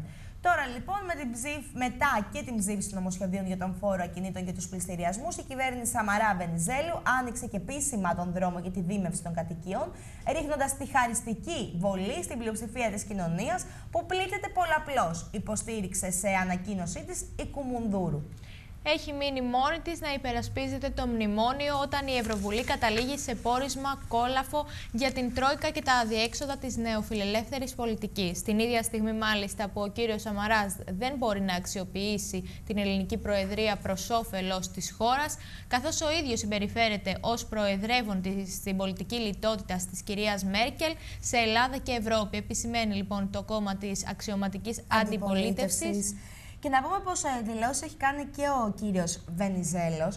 Ε, Μιας και όπως ο ίδιος λέει, το νομοσχέδιο για τους πληστηριασμούς ήταν προϊόν δύσκολης διαπραγμάτευσης. Ε, παράλληλα, ο πρόεδρος του Πασόκ εξαπέλυσε επίθεση στην αντιπολίτευση, λέγοντας ότι αντιλαμβάνομαι ότι απογοητεύονται όσοι είχαν επενδύσει στην καταστροφή, όσοι βλέπουν την κυβέρνηση να είναι συνεπή με τις δεσμεύσεις της. Όσον αφορά τώρα στις τράπεζες, είπε ότι για τα χρηματοπιστωτικά ιδρύματα το πρόβλημα δεν είναι τόσο οι οφειλέτες στεγαστικών, αλλά το ζήτημα των χρεών των επιχειρηματιών. Χωρίς το Πασόκ δεν υπάρχει η μεγάλη δημοκρατική παράταξη στο σύνολό της, δεν υπάρχει εθνική ενότητα και σταθερή πορεία του έθνους. Χωρίς το Πασόκ δεν υπάρχει έξοδος από την κρίση, ούτε η παρακαταθήκη που δημιουργεί ο λαός με τις θυσίες του. Τόνισε μεταξύ άλλων ο πρόεδρος του κινήματος Ευάγγελος Βενιζέλος, κλείνοντας τις εργασίες της Συνόδου της Κεντρικής Πολιτικής Επιτροπής. Παράλληλα, ο κ. Βενιζέλος επισήμανε ότι ο μεγάλος στόχος είναι η χώρα, βγαίνοντας από την κρίση, να ανακτήσει την εθνική τη αξιοπρέπεια και κυριαρχία. Δεν μας έχουν θέσει θέμα εθνικής ασφάλειας, αλλά η οικονομική ισχύς, η εθνική ανεξαρτησία και η ανάπτυξη είναι οι θεμελιώδεις παράγοντες της εθνικής κυριαρχίας, υπογράμμισε. Υπήρξαν όμως και αντιδράσεις κατά το συνέδριο της Κεντρικής Επιτροπής του Πασόκ. Ε, το αφήγημα δεν βγαίνει και το Πασόκ κινδυνεύει να πάει στα βράχια αν δεν αλλάξουμε πορεία. Αυτό λοιπόν τόνισε ο βουλευτής του κινήματος, ο κύριος Θάνος Μωραήτης, μιλώντας, όπως είπαμε, στην συνεδρία της Κεντρικής ε, Επιτροπής. Ενώ για ακόμη μια φορά τόνισε ότι ο κυβερνητικός συμβιβασμός έχει ημερομηνία λήξης. Ανέφερε επίσης ότι δεν μπορούμε να δεχτούμε το ρόλο του πρόθυμου μικρού εταίρου που μας επιφυλάσσει το σύστημα και πως χρειαζόμαστε ιδεολογικό στίγμα. Ο τακτικισμός δεν είναι ιδεολογία. Επίσης, ο βουλευτής του Πασόκ υποστήριξε ότι υπερασπιζόμαστε την παράταξη και ζήτησε να τελειώνουν τα όσα λέγονται περί ανταρτών. Τόνισε ότι θα πρέπει να εξασφαλιστεί η σταθερότητα της χώρας, αλλά θα μπαίνουν κόκκινες γραμμές και πως ο κυβερνητικός συμβιβασμός έχει ημερομηνία λήξης. Χρειαζόμαστε προοδευτική κατεύθυνση στη μεταμνημόνιο εποχή. Σε, δεν στείνεται παράταξη επειδή θα συνενωθούν πέντε μαγαζάκια και να πάμε σε μια ευρεία σύσκεψη η οποία θα πραγματοποιηθεί σήμερα στο Υπουργείο Εργασίας με την ε, συμμετοχή του ΣΕΠΕ και των ελεγκτών του ΙΚΑ ώστε να ενταθούν οι έλεγχοι τις ημέρες των γιορτών για κάθε μορφή παραβατικότητας. Την ίδια ώρα να πούμε πως πληθαίνουν οι καταγγελίες που φτάνουν στη ΓΕΣΕ από εργαζομένους στους οποίους δεν έχει καταβληθεί ακόμα το δώρο Χριστουγέννων. Σύμφωνα λοιπόν με τη Γενική Συνομοσπονδία Εργατών Ελλάδος, συνήθι πρακτική των εργοδοτών είναι να παζαρεύουν το δώρο ή να τον αντικαθιστούν με πληρωμή σε είδος όπως τρόφιμα και καύσιμα. Και θα περάσουμε από το Υπουργείο Εργασίας στον κύριο Κυριάκο Μητσοτάκη, όπως, όπου όπως φαίνεται ο ίδιος δηλώνει ότι δεν υπάρχει κανένα όφελος από τις απολύσεις στο δημόσιο. Δεν προκύπτει λοιπόν κανένα όφελος από τις απολύσεις δημοσίων υπαλλήλων, ε, επισημένοντας ότι δεν είναι άλλωστε αυτός ο στόχος των αποχωρήσεων. Η συμφωνημένη μείωση του αριθμού των δημόσιων υπαλλήλων κατά 150.000 την πενταετία 2011 έως 2015 επιτυγχάνεται μέσω της εφαρμογής του κανόνα 1-5, δηλαδή για μία πρόσληψη για κάθε 5 αποχωρήσεις. Παράλληλα, την ίδια περίοδο 2013 με 2014 εφαρμόζεται ο κανόνας 1-1, δηλαδή μία πρόσληψη για κάθε μία αναγκαστική αποχώρηση. Σημειώνει ο Υπουργός σε συνέντευξη τύπου του στον τύπο της Κυριακής. Οι συνολικά 15.000 αναγκαστικές αποχωρήσεις επομένως αφορούν αποκλειστικά και μόνο στην ανανέωση του ανθρώπινου δυναμικού στο δημόσιο. Το σχέδιό μας για τη λειτουργική αναδιάρθρωση του δημοσίου μπαίνει άμεσα σε εφαρμογή και κινείται σε τρεις κεντρικούς άξονες. Εξορθολογισμός των δομών της κεντρικής διοίκησης με έμφαση στην οριστικοποίηση των νέων και πολύ πιο συμπαγών οργανογραμμάτων. Δραστική απλοποίηση διαδικασιών για τη μείωση διοικητικών βαρών για τον πολίτη και τον επιχειρηματία. Καινοτόμο στρατηγική διαχείρισης ανθρώπινου δυναμικού που θα δίνει πραγματικές ευκαιρίες γρήγορης ανέλυξης στου άξιους και εργατικούς δημοσίους υπαλλήλους. Αυτά λοιπόν όσον αφορά και τον κύριο Μητσοτάκη. Να πάμε στον κύριο Κουτσούπα, στον ε, Γενικό Γραμματέα του, του Κομμουνιστικού Κόμματος Ελλάδος, όπου όπως λέει οι μόνες κυβερνητικές βεβαιώσεις που ανταποκρίνονται στην πραγματικότητα είναι αυτές ε, προς το μεγάλο κεφάλαιο και αφορούν την ανάκαμψη της κερδοφορίας του, που θα συνοδεύεται από μόνιμα επώδυνα αντιλαϊκά μέτρα. Αυτός λοιπόν είναι ο στόχος της σημερινής, του χθεσινής αλλά και κάθε κυβέρνηση που, κινείται, που ε, κινείται εντός των τυχών της Ευρωπαϊκής Ένωσης και του καπιταλιστικού δρόμου ανάπτυξης. Ε, έτσι λοιπόν φαίνεται πως είπε ο Γενικός Γραμματέας ο κ. Κουτσούμπας σε συνέντευξή του στην εφημερίδα Θεσσαλία, ερωτηθείς για τα όσα διαμηνεί η κυβέρνηση πως το 2014 θα είναι έτος ανάκαμψης και πως δεν πρόκειται να επιβληθούν άλλα επώδυνα μέτρα. Αναφορικά με τα χαμηλά δημοσκοπικά ποσοστά του ΚΚΕ, είπε πως η εμπιστοσύνη στο ΚΚΕ προποθέτει εμπιστοσύνη στο εργατικό λαϊκό κίνημα που πρέπει να ανασυντάξει τις δυνάμεις του, γιατί τότε θα μπορεί να εμποδίσει, να καθυστερήσει, ακόμα και να επιβάλλει επίγοντα μέτρα ανακούφισης της λαϊκής οικογένειας και θα μπορεί να ανοίξει τον δρόμο όχι μόνο της εξόδου από την κρίση, αλλά συνολικά για τη λαϊκή ευημερία.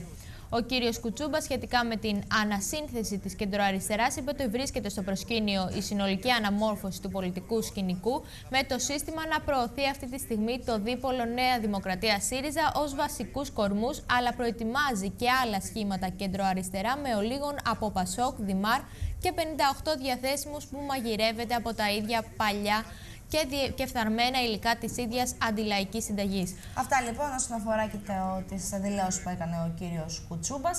Και να περάσουμε σε μια δημοσκόπηση η οποία, η οποία φαίνεται πως είναι ελαφρύ προβάδισμα, ένα ελαφρύ προβάδισμα της τάξης του 0,4% για τον ΣΥΡΙΖΑ. Έναντι λοιπόν της Νέας Δημοκρατίας, η δημοσκόπηση αυτή είναι της ΡΑΣ για τον τύπο της Κυριακής. Ωστόσο όμως, παρόλα αυτά, μέχρι και σήμερα, καταλληλότερος πρωθυπουργός θεωρείται ο Αντώνης Σαμαρά.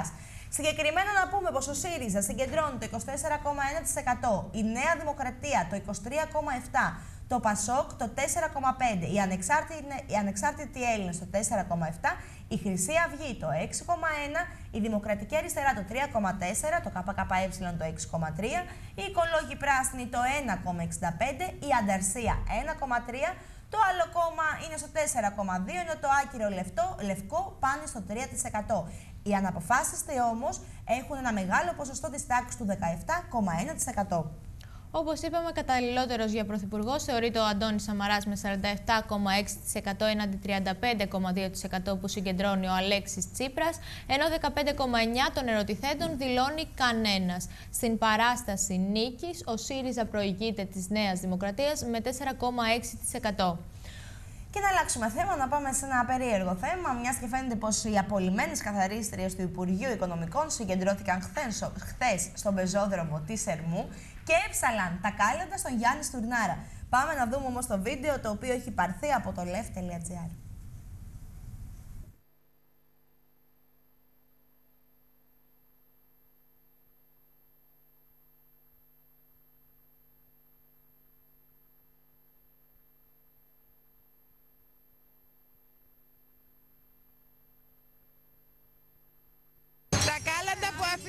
στον Γιάννη Στουρνάρα, η προνομιούχα συντεχνία των καθαριστριών του Υπουργείου Οικονομικών.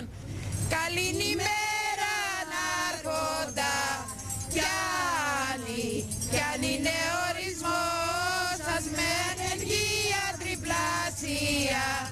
Να ζει, να ζήσει ο λαός σου, Άρχοντα το κατάλαβες. Γιατί, γιατί σε πως κάτι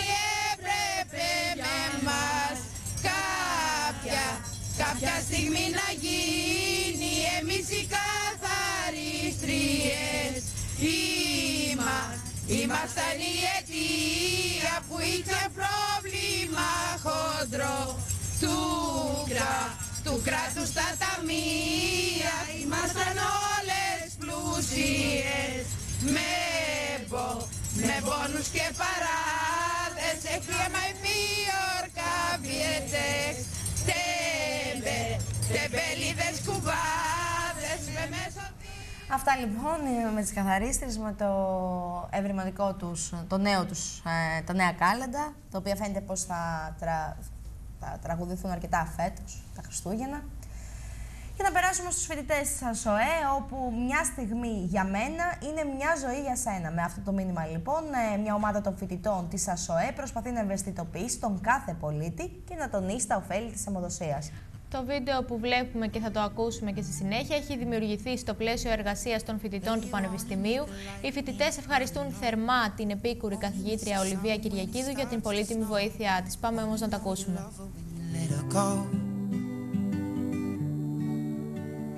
Only know you've been high when you're feeling low. Only hate the road when you're missing home. Only know you love her when you let her go. And you let her go.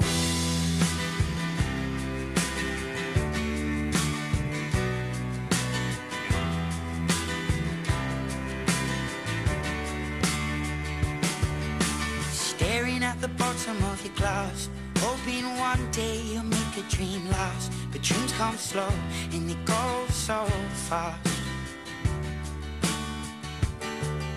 You see it when you close your eyes Maybe one day you'll understand why Everything you touch surely dies But you only need the light when it's burning low Αυτά λοιπόν είναι πολύ σημαντική κίνηση η αιμοδοσία. Όσοι από εσά δεν έχετε δώσει ακόμα αίμα, σκεφτείτε το πραγματικά ε, πέντε δικά σας λεπτά, περίπου 5 με 10 λεπτά διαρκή αιμοδοσία μπορεί να σώσουν τη ζωή κάποιους συνανθρώπου σας. Και δεν είναι τίποτα, δεν είναι, δεν, δεν είναι κάτι επώδυνο.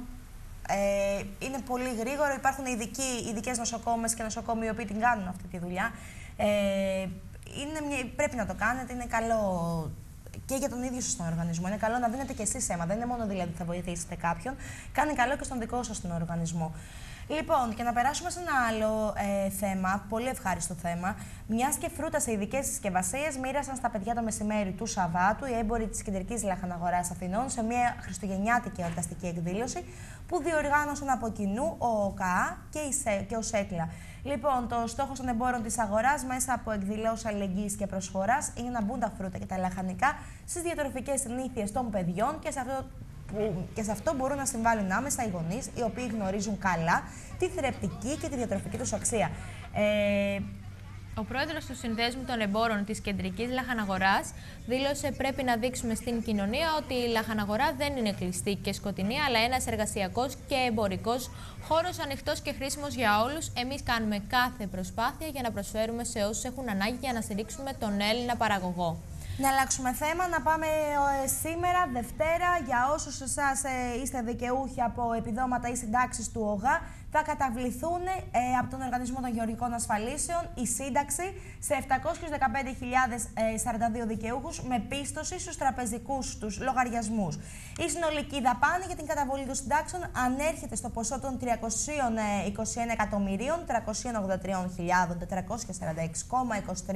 ευρώ. Ενώ να πούμε πως ε, σήμερα θα καταβληθούν επίσης από τον ΟΓΑ σε 655.833 δικαιούχους τα νέα οικογενειακά επιδόματα το ενιαίο επίδομα στήριξη τέκνων και τα επίδομα τριτέκνων και πολυτέκνων οικογενειών. Και να πάμε στα διεθνή θέματά μας. Το πρώτο μας θέμα είναι, αφορά, θα πάμε μάλλον στη Ρωσία όπου φαίνεται πως ε, δεν του επιτράπει τελικά να έχει την επιλογή να παραμείνει στη Ρωσία μετά την απελευθέρωσή του, αποκάλυψε ο Ρώσος πρώην δισεκατομμυριούχος και επικριτής του Κρεμλίνου, ο Μιχαήλ Χοντορκόφσκι, στον οποίο δόθηκε χάρη και του επιτράπει και τελικώς να ταξιδέψει στο Βερολίνο. Ο ίδιος πρόσθεσε εξάλλου ότι θα αφιερωθεί πλέον στην υπεράσπιση των πολιτικών κρατουμένων στην χώρα του. Δεν πρέπει να με θεωρείτε σύμβολό του ότι δεν υπάρχουν πια πολιτικοί κρατούμενοι στη Ρωσία. Δήλωσε ο Χοντορκόφσκι, δίνοντας την πρώτη του συνέντευξη τύπου στο Μουσείο του Τείχους του Βερολίνου κοντά στο ιστορικό Τσάρλι. Ε, θα κάνω το παν για να μην υπάρχουν πια. Θα κάνω ό,τι μπορέσω, πρόσθεσε η πολιτική αξιωματούχη των δυτικών χωρών. Πρέπει να θυμούνται τις σχέσεις τους με τον πρόεδρο Πούτιν, ότι δεν είμαι ο τελευταίος πολιτικός κρατούμενος στη Ρωσία. Πρόσθεσε πως η απελευθέρωσή του από τον Πούτιν δεν αποτέλεσε ένδειξη κάποιας θεμελιώδους αλλαγής στη Ρωσία. Όπως ο ίδιος ε, είπε, ευχαρίστησε την καγκελάριο Άγγελα Μέρκελ επειδή εργάστηκε για την απελευθέρωσή του. Είμαι πολύ ευγνώμων στην Άγγελα Μέρκελ για το ρόλο που διαδραμάτισε, τον οποίο πληροφορήθηκα μόνο αφού έφτασα εδώ. Ευχαρίστησε επίσης τα μέσα ενημέρωσης, τα οποία κάλυπταν την υπόθεσή του τα 10 χρόνια που έμεινε στη φυλακή. Ο Χοντερκόφσκι επίσης στάθηκε επίσης εναντίον του ενός μποϊκοτά των χειμερινών Ολυμπιακών Αγώνων του Σότσι. Είναι μια γιορτή του αθλητισμού, μια γιορτή για εκατομμύρια ανθρώπους και πιθανόν δεν πρέπει κανείς να την χαλάσει. Ο ίδιος επανέλαβε επίσης πως δεν θα συμμετάσχει στην ρωσική πολιτική ούτε θα χρηματοδοτήσει την αντιπολίτευση του στον Πούτιν. Η μάχη για εξουσία δεν είναι για μένα. Και να πάμε σε ένα, σε ένα ασυνήθιστο, ας το λέγαμε, τουριστικό αξιοθέατο Κυριακή, το οποίο βρίσκεται στη διάθεση των επισκεπτών των Γαλλικών Άλπαιων.